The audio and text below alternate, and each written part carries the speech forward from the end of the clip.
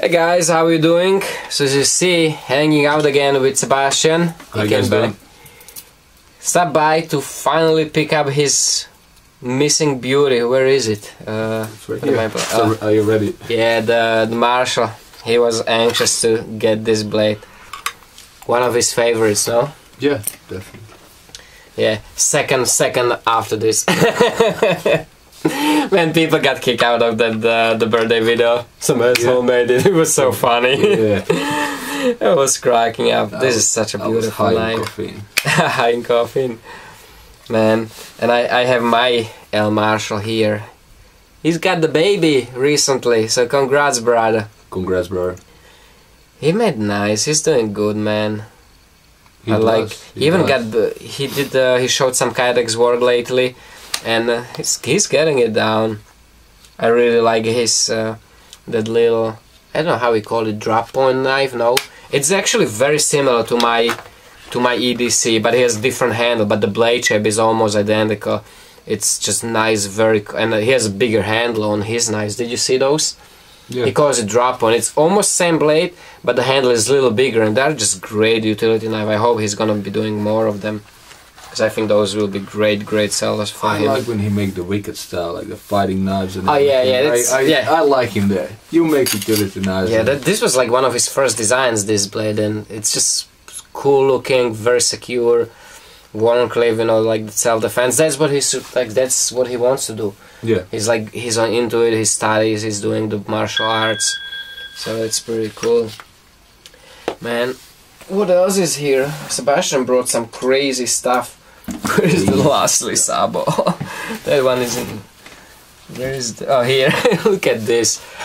He traded this recently, and I mean I've seen this knife when it came out. There was a lot of people had the videos, and everybody says that it's big, but you don't really know how big the knife is until you actually hold it in the hand. And this is gigantic. This is such a beast. Really cool. I really like some of his work. I, I remember a long time ago when I visited his website first time. He makes some beautiful, beautiful knives. Yeah, he's, He's he's a. Hungarian custom knife maker. Exactly. You have the Balisong also from him, Yeah, Spider Balisong. you know, I'm, I'm Koromis Hungarian. Oh, you are, yeah? Yeah, yeah. From what, mother's side, father's From side? father's side. Yeah. Actually, my last name is Hungarian. so- You know, Slovakian hates Hungarians. I'm kidding. No, they actually did were like big fights in the in the past. Uh, don't people- stab me now with that.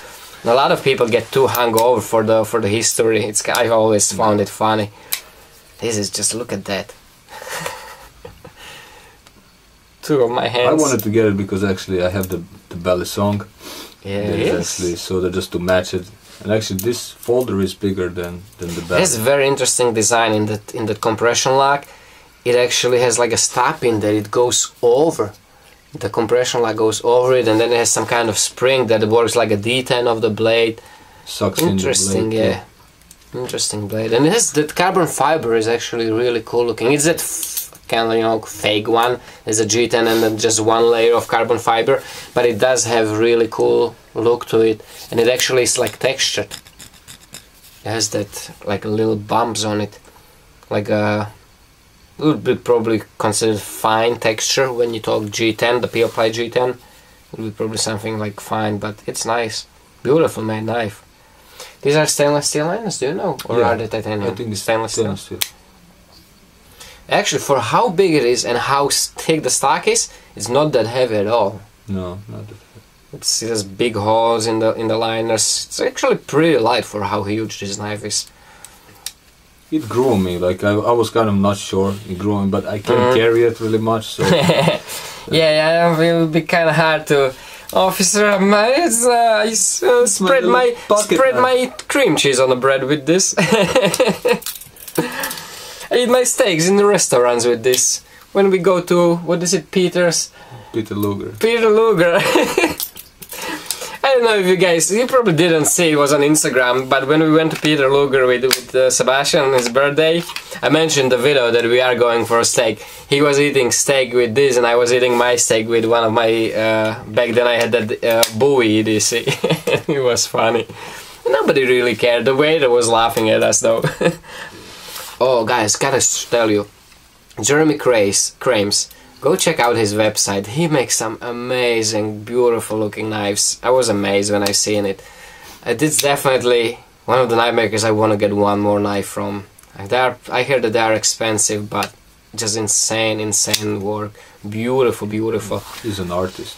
Yeah, like just some crazy stuff, and such a such a attention to details. Like, you know, he puts like little balls here on the spine. He like in like press. It's almost like a detent ball, but he presses them into the spine, and then there's like a little decoration holes around in different places, and they're anodized. You know, everything is silent, but you have actually blue anodizing inside the holes. Just like really cool. Gotta be a lot of work, a lot of steps. Like if I think about it now, you have a titanium liner that is exposed and to actually do that you have to anodize the whole thing and then actually do the whole finish again like uh, sand everything else except the little holes and he's doing it multiple times on all different areas of the blade and pocket clip man what is this is the, The uh, poltergeist. poltergeist yeah Gakido, You got that Gakido, recently. Something like Yes, some cool knives. I've seen the fixed blades once in a while on the on the on USN. A lot of people are not. that's my his his folders are carry. yeah. His folders are selling like hotcakes, no. But the I see it often that the little fixed blades. A lot of people on USN are not too into fixed blades.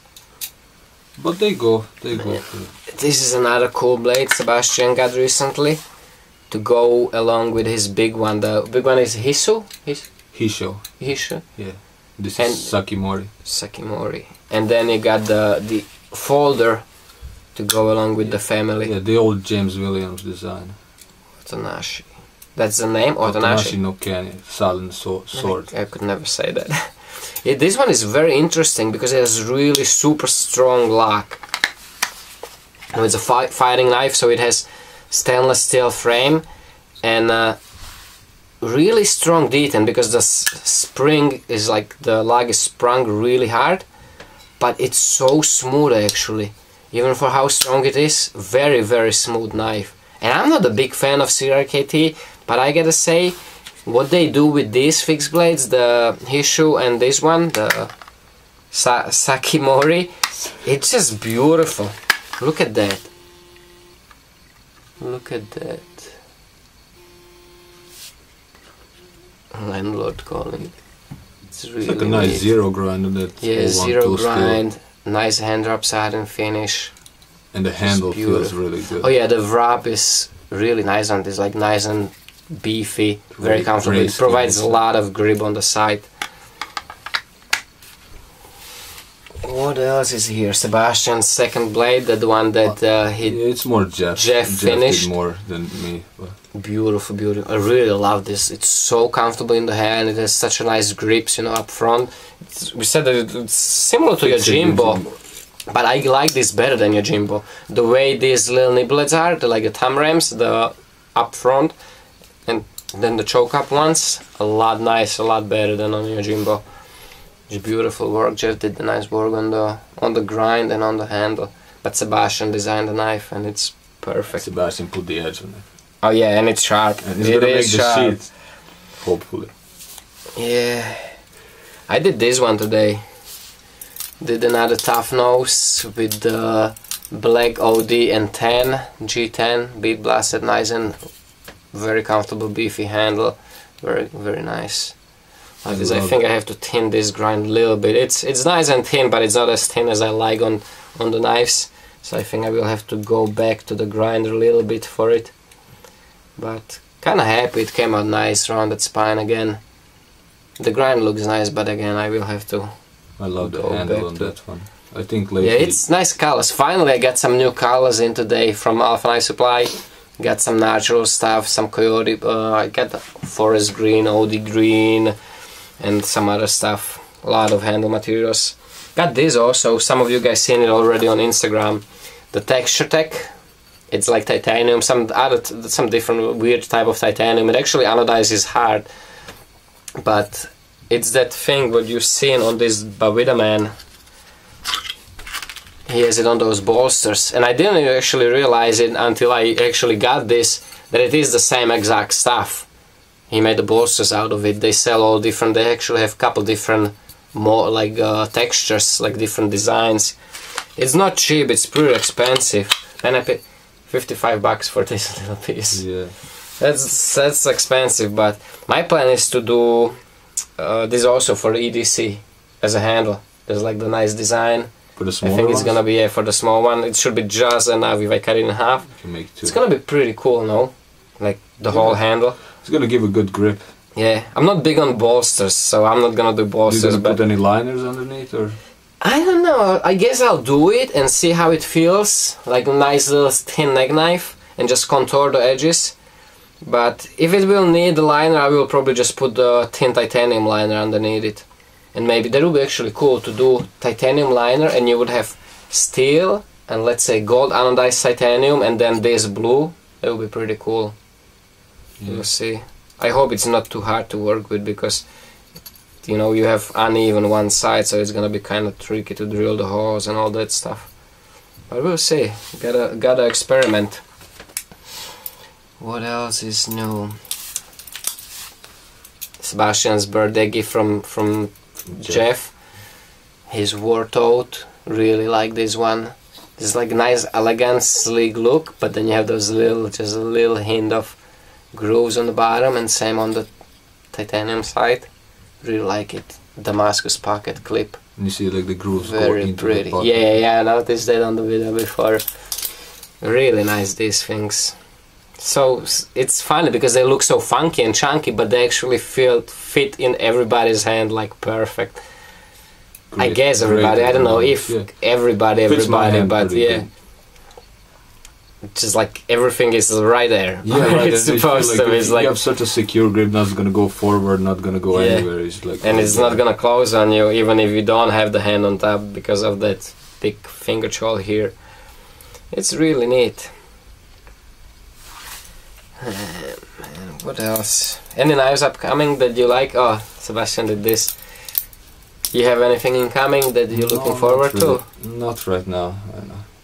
Bob get me excited about his the strider Strider, the custom Strider, but not in the. yeah that's that's a pricey one Yeah, it's just a pricey one. Sebastian did this. He's like, oh, it's not perfect and this and that. I think it's beautiful. I like it. I really like Actually, it. the- These were just like like contour, no, like straight contour. Yeah, it was just like a, a little, and then I stonewashed it. yeah, finally he stonewash it. Finally, it's not sharp. Until now, he was actually flipping with the sharp. Crazy guy.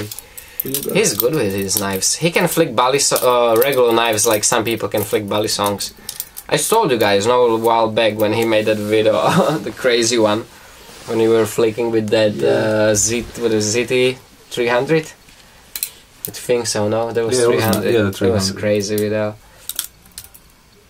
Oh yeah, good. Yeah. Yeah, it's Luckily, good, luckily it's dual.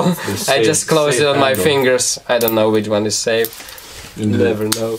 Jeff was excited about the dragon. Oh yeah. Sebastian was laughing. Just Jeff wanted to dragon spine all of his knives. He, yeah, he get. I like it. It does look nice. I don't know why dragon spine, but it, I do like it. It, it does do the I little. think I think like mixed Mick Strider does on some of the striders, and he call it dragon spine, Oh, that's something right. like that, and then it's on the.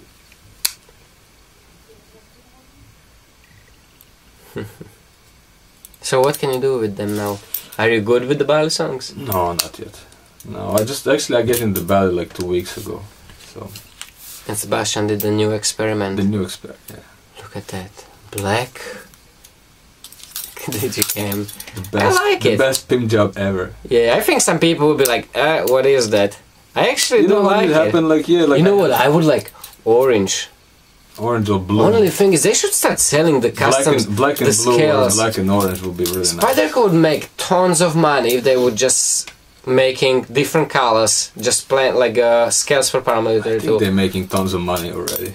But everybody would buy a set of scales, even if just regular G10 but different colors. Everybody would buy them. Yeah, The paramilitary is like that's one knife that they cannot keep in stock. Everybody loves paramilitary. that's true. like actually, the- I can I can in- find. I was looking. they always sell out instantly. It's their most popular model, and I do believe that it's the best knife they make. Just perfect. they would they would make bang if they start doing like all different handle scales for the paras. Price them well. It's probably not that expensive for the company to make. That would be awesome. I would love it. But that's what they do the sprint runs. Yeah. Was there ever orange one? I don't remember. I think there was. No. The Orange, scale G- paramilitary too. Was there? Yeah, they have all different steels. I think the I think the Yeah. blue one is M390. Orange Yeah, yeah, yeah. But was there I orange? I think there was. CTX? XHP. Yeah, I think Oh so. yeah, one of those. I think. Yeah. The carbon fiber is I think S90V. Yeah, that, that one I know. Yeah. yeah, that's a nice one. The carbon fiber and S90V. Man, they're always so expensive on the secondary market. Oh, the S90V. sprint, Yeah. sprint, just generally sprint run para tools. I love para tool. One of my favorite knives. yeah, they have the S35 in the S35 and is in the what is that? Yeah, I don't even know. That's the one that they, the guy, the, somebody just offered Offer me a trade. trade, yeah. I would love to. I gotta ask Jeff if he's fine with that. Somebody offered me a trade, which is really cool for me. But we'll see. I have to. I have to ask permission of my, of my tough thumbs, Your tough friend. tough friend. Arta. He's not that tough. I have tougher thumbs than he does. There's another thing I picked up. I wanna experiment a little bit with that. Let's say steampunk theme. I wanna try this on the EDC also. This is what the silicon silicon bronze. I don't know what- if it's just a regular bronze. Why is it called silicon? But it could be pretty cool to put it as a scales and like maybe do some hammered pattern or something into it. We'll see. It's gonna be heavy, but it shouldn't be that bad. Just maybe just a little heavier than if it was titanium. It's such a small little scale. And another cool experiment I wanna do is actually I picked up some, what is it called? Bron phosphor bronze. You know the tin stuff. What they cut the the washers from. Yeah, here it is. I picked up some of that. They had this on sale. It was like a dollar actually. It was price five, but it was on sale for a dollar. And tin titanium. I want to try. I want to see how it goes with some good epoxy. Probably the one the steel reinforce from uh, JB Weld. I want to do layer titanium, uh, phosphor bronze, titanium phosphor bronze, and cut the scars from it. And I think it will be pretty cool. If the epoxy holds good, if I do it right, it would be it would be have it would be pretty cool effect after you anodize it. No, like it would be blue and gold, blue and gold, kind of gold, no, like or like copper like color. We'll see. Yeah, it's kind of a couple different projects I had in mind that I I had some ideas. We'll see how it goes. I have fun lately. I grounded another one today too, but just the ground. You see that I kind of fell in love with that. I just think it's very practical. You guys know that my favorite is a Raptor, and this is kind of like a Raptor but with the stronger tip, and uh, I just think it's very practical. It has the cool look, and uh, I mean I kind of always just get get every time I f- do something that I comes out nice like the boobies. I fell in love with it for a couple of days, and I just keep doing that one thing over and over. else. Yeah, Yeah, and then something else comes along, and but that's good. Nothing wrong. you always get that excitement for certain things, at least for a little bit, and then it kind of like you still like it. I love the I love the booby shape the best from all the shapes. I like more aggressive looking stuff, so I think that's Yeah, I love a- I love how it looks. probably the performance and everything is probably the same. The performance is the same. I love the looks. The only thing is that the tip is finer. No, Yeah. tip is like the finest one. All right, guys, I'm gonna end it. I'm gonna take a phone call. Hope you enjoyed it, bro. Thank you for coming. I always have a good time. You're welcome. Me too. And I'm pretty sure that we're still gonna hang out. I'm just gonna cut you guys off. Take care, stay safe, and remember, don't, Don't cut yourself.